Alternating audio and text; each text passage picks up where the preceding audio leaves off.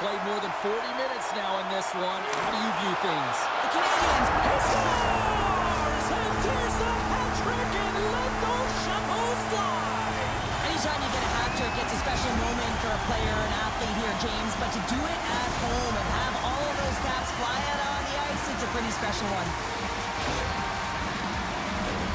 Well, he had his eyes on the puck. He tracked it perfectly and got himself set to position, James. I thought he had it. He got a good chunk of it, but he didn't get it all.